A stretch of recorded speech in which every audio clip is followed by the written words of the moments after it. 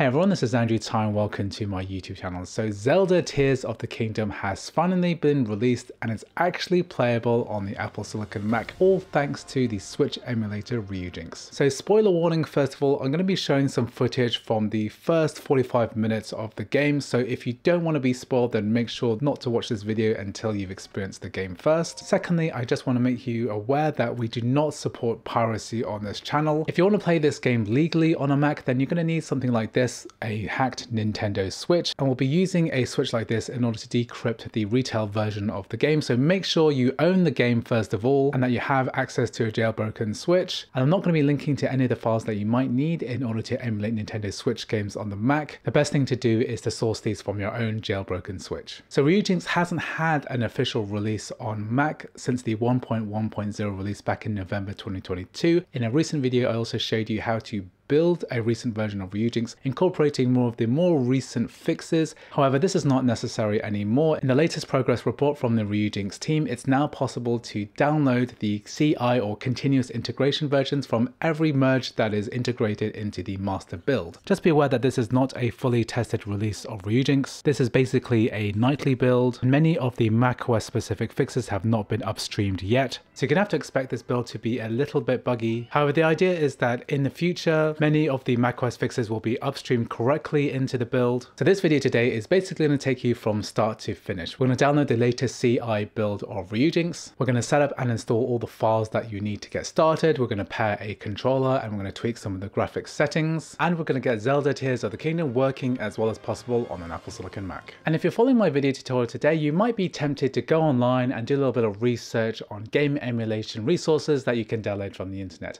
However, you shouldn't do this and unless you are protected. So that's why I highly recommend private internet access as VPN service. So if you didn't already know, a VPN is a virtual private network. A VPN hides your IP address and safeguards your internet connection through an encrypted tunnel. Private internet access can shield all the information about what you've been browsing on the internet from internet service providers, network administrators, and government censors. Using the internet without private internet access is like using your phone without a protective case. All it takes is one unlucky drop and you'll be cracking something really valuable. And furthermore, private internet access allows you to access region restricted content from all over the world. For example, streaming services like Disney Plus, Amazon Prime, and Netflix have different library options based on where you are located, and some shows cannot be accessed if you're not located in that region. However, private internet access allows you to overcome these restrictions by giving you the option to change your IP address from one of 82 different countries and all 50 US states. Private internet access is available on all platforms including macOS, iOS, Windows, Android, and Linux as well. And with just one private internet access subscription, you can protect an unlimited number of devices. So make sure to click on the link in the description for my exclusive discount with private internet access and stay protected when you're downloading things from the internet. So the first thing that we need to do is to go to this GitHub page here, which I'll leave a link to in the description. This is the Ryujinx release channel master where all of the latest versions of Ryujinx are published. So at the time of recording, the last update was published nine hours ago, and this follows the latest changes to the source code called the continuous integration or CI. So at the moment, a lot of the performance and GPU workarounds for macOS are not yet upstreamed. However, it's very likely that in the future, games like Zelda Tears of the Kingdom and others are going to be improved by the the very latest version of Ryujinx. Just be aware that if you're downloading a CI build, then these aren't going to be the full release and aren't necessarily going to be tested. You might benefit by scrolling down and downloading an older version of the build, or going to the main Ryujinx website, clicking the download button here and downloading the latest full release, which will have been adequately tested with plenty of games. So now here we're going to download the latest release, make sure to expand the assets tab here, and we want to download the macOS Universal app here. So just click on download here. So make sure to go to Finder and then go to your downloads folder and I'm going to find the compressed file here, which I'm going to double click on.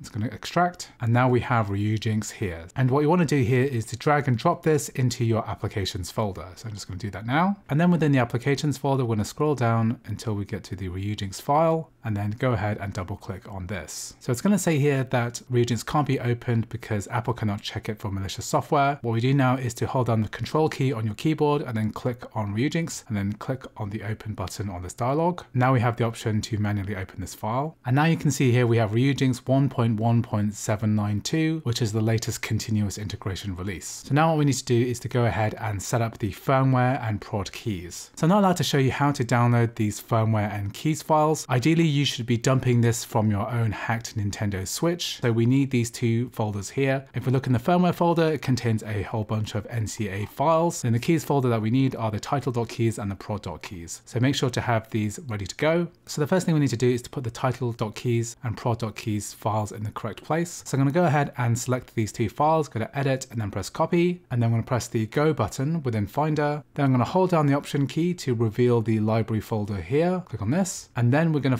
find application support. So I'm going to double click on application support. And then basically I'm going to scroll down until we find Ryujinx. So here we're going to double click and then we're going to double click on the system folder. So just be aware that this file path location is different from the 1.1.0 macOS release. So now that we've selected this folder, we're going to click edit and then paste the two items. And then that's going to put the prod.keys and title.keys in the correct location. I'm going to minimize this. The next step now is to go to tools and then click install firmware and then select here install a firmware from a directory. Then we're going to go to our downloads folder and find the extracted firmware 16.0.2, select this folder and then press open and then we're to press yes here to install the firmware. Now it says here the firmware has been installed, press OK. What we're going to do is add our game library. So here we're to click options and then settings and then within game directories we're going to add the folder which contains our Switch game files. Now I'm not able to show you how to download Zelda Tears of the Kingdom or any other Switch games, but I am going to show you how to add the game directory now. So I'm just going to go ahead and click the add button and then I'm to navigate to the folder that I created with the games that I want to add and then press open and now I've added that game folder. So now you can see here Tears of the Kingdom has been added to our game library. So this is version 1.0.0. So ideally you want to make sure to get the update file as well. So we're going to right click on the file itself and then we're going to click manage title updates to apply the update. So here we're going to press the add button and then we're going to make sure to add the 1.1.0 update. So this is the latest update at the time recording. There might be a new one by the time you watch this. Just make sure to add the latest update and press open. And here we're going to select version 1.1.0 and then press save. So now this has been updated. So next thing that we want to do is to download the 30 FPS and 60 FPS patches. So you might want to use the 30 FPS patch if your game gets stuck at 20 FPS. And of course we want to unlock the 60 FPS patch in case our hardware is able to reach this frame limit. So I'll leave a link in the description for this website. What we're going to do is to scroll down and then we're going to download the 60 FPS patch and also the 30 FPS patch. Just click on the link and then download the MediaFire archive for both of those files. And then what we're going to do is to go to Finder, go to our downloads folder, and then we're going to extract both of these files. And then within the folder, what we're going to do is to select whichever patch that you want to use. So you can't add both of these simultaneously. You need to choose which one you want to apply. I'm going to be applying the 60 FPS patch. I'm going to right click on the folder and then press copy. And then I'm going to minimize this. We're going to go back to the entry for Legend of Zelda Tears of the Kingdom, right click on this entry here, and then click open mods directory. Once we're in this folder, what we're going to do is to control click on the blank space and then press paste item. That's going to put our 60 FPS mod there. And now we can minimize this. And now our game is fully set up. So now what we're going to do is to pair a controller, which I highly recommend that you do. Here we're going to be using a Sony PlayStation 5 DualSense controller. You can also use an Xbox One or an Xbox Series controller as well, or the official Nintendo Joy-Cons too. So firstly, we're going to do is to put this into pairing mode by holding down the option and the home button. And then this is going to start flashing blue here.